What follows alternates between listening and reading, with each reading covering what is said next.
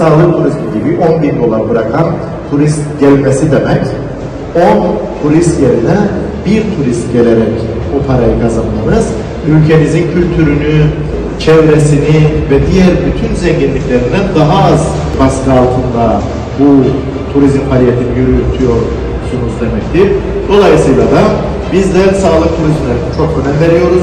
Türkiye'ye 700 kilometre ile 260 kilometre değişen İstanbul, Diyarbakır, İzmir, Ankara, Kayseri, Antalya, Hatay, Adana'dan direkt uçuş var ve 50 dakikayla 1,5 saat arasında direkt uçuşlar yapılıyor. 1 milyon 800 bin yolcu getirdik. O 1 milyon 400'ü turistik tesislerde konakladı. Bunların içerisinde yarısı da Türkiye Cumhuriyeti e, vatandaşı. Kuzey Kıbrıs Türk Cumhuriyeti ada ülkesi olduğu için bilimsel gerçeklere uygun önlemleri çok süratli aldı ve halkı da bunlara yüzde yüz riayet etti. Dolayısıyla dünyadaki Covid-19'dan ötürü hayatını kaybedenlerin oranı binde sekizde kaldı.